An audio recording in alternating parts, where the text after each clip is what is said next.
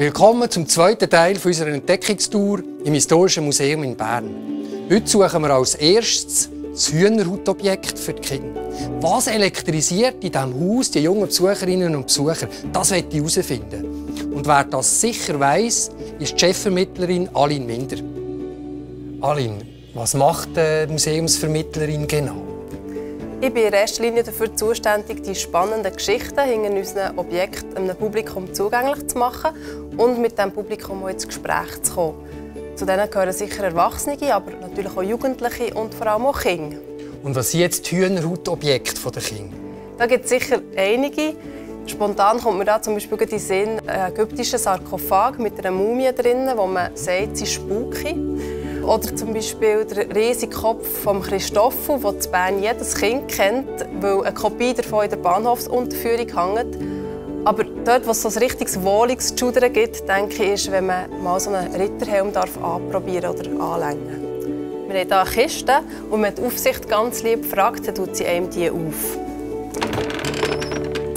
Da hinten haben wir verschiedene Ritterhelme, unter anderem diesen. Und ich gebe dir den mal dann siehst du, wie schwer das da überhaupt werden kann. Aline, wenn ich jetzt schon Gelegenheit habe, mit dir das Haus zu erkunden, ist ja im Haus für Bernkompetenz. Was ist denn das typischste Berner Objekt in diesem Museum? Das zeige ich dir gerne.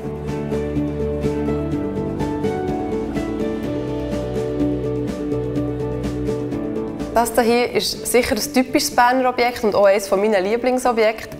Und zwar sieht es ein aus wie eine Ratte, aber es ist nichts anderes als der letzte Bär vom alten Bern. Wie ist denn das gekommen?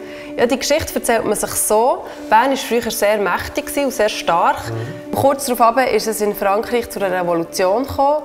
Napoleon und seine Truppen sind Richtung Schweiz marschiert und haben Bern vernichtend geschlagen, obwohl Bern sich natürlich sehr gewehrt hat.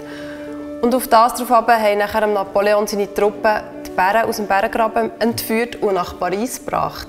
Eine grosse Schmach wahrscheinlich. Genau, man kann sich vorstellen, Bern war schon dann sehr stolz auf ihr Wappentier.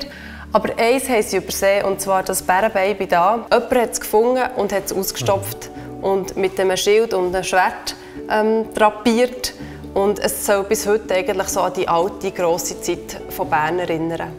Also das ist ganz sicher der berühmteste Bär hier im Museum, oder? Ja. Aber weißt du eigentlich der berühmteste Berner, den man hier kennenlernen kann? Ich würde ganz klar sagen, der Albert Einstein. Der Albert Einstein ist Berner? Ja, er hat immerhin sieben Jahre in Bern gelebt und wir haben ihm eine ganze Ausstellung gewidmet. Hier in Bern hat Albert Einstein ein paar von seinen wichtigsten Arbeiten publiziert, zum Beispiel die allgemeine Relativitätstheorie oder die Formel, die jedes Kind kennt, E gleich mc Quadrat. Und diese Arbeiten waren die, die das Verständnis von Physik revolutioniert und auch unser Weltbild eigentlich auf den Kopf gestellt. Okay. Und das war schon Professor an der Uni?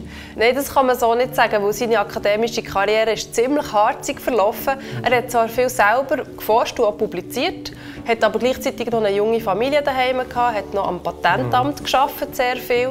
Seine erste Vorlesung als Privatdozent hat er erst ein paar Jahre später dürfen halten und wir haben hier sein Vorlesungsverzeichnis, das ich gerne mit dir anschauen würde. Und zwar sieht man hier, von wann bis wann dass die Vorlesung hat stattgefunden Und zwar am Morgen um 7 Uhr hat sie angefangen bis um 8 Uhr. Und was man auch sieht, sind die Anzahl Zuhörer, die teilgenommen haben. Das ist keine lange Reihe. Nein, das sind genau drei Leute. Und zwar zwei von seinen besten Freunden und ein Arbeitskollege aus dem Patentamt. Können wir also sagen, Bern war das Karrieresprungbeck für einen Einstein, weil nachher ist er eigentlich ab wie eine Rakete. Wenn man bedenkt, dass Leute später Schlangen gestanden sind, um seine Vorlesungen zu hören, dann ist es doch recht amüsant zu sehen, wie das hat angefangen. Mm, dann wären sie ja am Morgen um 7 Uhr gekommen. Ja, das denke ich. Die nächste Folge der Entdeckungstour die führt uns in ferne Länder, weit weg von Bern und an verbotene Orte, wo Besucher nie ankommen. Es würde mich sehr freuen, wenn ihr wieder dabei seid, wenn es heisst, auf Entdeckungstour mit dem neuen Direktor.